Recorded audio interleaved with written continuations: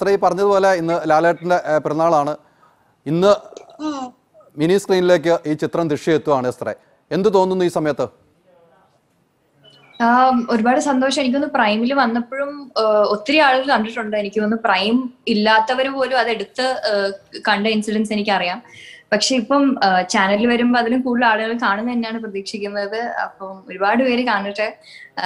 ഒരുപാട് സന്തോഷം ഇത്രയും അധികം ആളുകളിലേക്ക് ഇത് എത്തുന്നത്.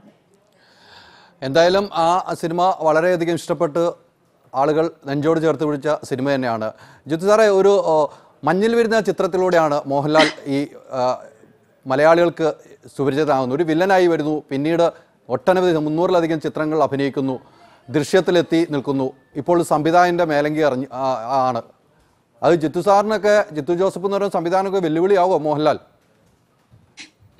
വെല്ലുവിളി എന്തിനാ? ഇവിടെ എന്താ പറയാ ഏഹ്, എല്ലാവരും കഴിവുള്ള എത്രയോ സംവിധായകരുണ്ട്. അതിലേക്ക് ലാലേട്ടനൂടെ വന്ന് ജോയിൻ ചെയ്യും. എന്താ പറയാ ഇതൊരു എന്താ പറയാ ഒരു കോമ്പറ്റീഷൻ ആണ് ആക്ച്വലി അതൊരു ഹെൽത്തി കോമ്പറ്റീഷൻ അല്ല. അതിപ്പോഴും നല്ലതല്ലേ? ഇപ്പം എല്ലാവർക്കും എല്ലാവരിൽ നിന്നും പഠിക്കാനുണ്ട്. ഓരോരുത്തരും ഓരോ സിനിമ ചെയ്യുമ്പോഴും നമുക്ക് നമ്മൾ ചെയ്ത് മറ്റുള്ളവർ ചില സിനിമ പോകും ഇങ്ങനെ ഇതുണ്ട് ഇങ്ങനെ ചെയ്യാമല്ലേ അങ്ങനെ ഒത്തിരി പഠിക്കാനുണ്ട്. അപ്പൊ അദ്ദേഹവും അദ്ദേഹത്തിനെ സംബന്ധിച്ചിടത്തോളം ഇത്രയും വർഷങ്ങളത്തെ വർഷങ്ങളിലെ എക്സ്പീരിയൻസിൽ നിന്ന് ഉൾക്കൊണ്ടിട്ടാണ് അദ്ദേഹം ഒരു സിനിമ സംവിധാനം ചെയ്യാൻ പോകുന്നത്. അപ്പൊ സ്വാഭാവികമായിട്ടും ഞാനൊക്കെ അതിനെ നോക്കിക്കാണുന്നത് അദ്ദേഹം ഒരു സിനിമ സംവിധാനം ചെയ്യുമ്പോൾ എങ്ങനെയായിരിക്കും? എനിക്കത് കാണാൻ കൗതുകമുണ്ട്. അതിൽ നിന്ന് എന്തെങ്കിലുമൊക്കെ നമുക്ക് പഠിക്കാനുണ്ടോ എന്ന്. കാരണം അതൊരു എക്സ്പീരിയൻസ് ഇത്രയും വർഷത്തെ എക്സ്പീരിയൻസിന് ശേഷം അദ്ദേഹത്തിൽ നിന്ന് ഒരു ഒരു ഒരു അദ്ദേഹത്തിന്റെ ഒരു എന്താ പറയാ അദ്ദേഹം ഒരു ഒരു ഔട്ട് നമ്മൾ കാണുകയാണ്. അദ്ദേഹം മനസ്സിൽ ഇമാജിൻ ചെയ്ത് കൺസീവ് ചെയ്ത ഇത് വരുന്നു. അപ്പൊ അതെങ്ങനെയായിരിക്കും? അത് വരുന്നത് എന്തൊക്കെയായിരിക്കും? അതിന്റെ വിഷ്വൽ അതിനകത്തെ സീനിന്റെ ഡീറ്റെയിലിംഗ് ഒക്കെ എങ്ങനെയൊക്കെ? നമുക്കൊരു കൗതുകമുണ്ട് ലാലേട്ടൻ അത് ചെയ്യുമ്പോൾ എന്തെങ്കിലുമൊക്കെ അതിൽ നിന്ന് പഠിക്കാനുണ്ടാവുമോ എന്നോർത്ത് ഞാനൊക്കെ വളരെ എന്താ പറയാ ആഗ്രഹിച്ച് കാണാനിരിക്കുന്ന ഒരു സിനിമയാണ്. തീർച്ചയായിട്ടും. എല്ലാവരും മലയാളികൾ മൊത്തം ആഗ്രഹിച്ച് കാണാനിരിക്കുന്ന സിനിമയാണ്. ഇപ്പം ആശാ ശരത്ത് നമ്മോടൊപ്പം ചേരുന്നുണ്ട്. ആശാ ശരത്ത് ഇന്ന് സൂമിൽ കയറാമെന്നൊക്കെ പറഞ്ഞു. അവിടെ ഭയങ്കര ഇടിയും മഴയൊക്കെ ആയതുകൊണ്ട് നെറ്റ് കണക്ഷനൊക്കെ പോയെന്നാണ് ആശാ ശരത്ത് പറഞ്ഞത്. ആശാ കേൾക്കാമോ? നമസ്കാരം നമസ്കാരം.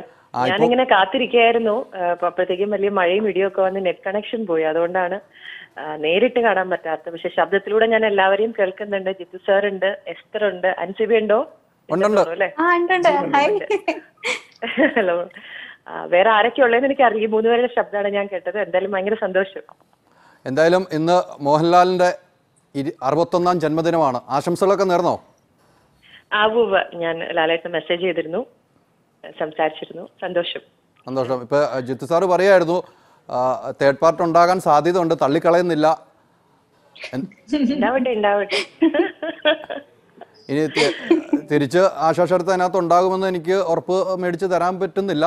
അതിപ്പോ ജിത്തു സാറ് തന്നെ പറയണം. ആശയില്ലാതെ ഒന്നും തേർഡ് പാർട്ടി ചെയ്യാൻ പറ്റത്തില്ല.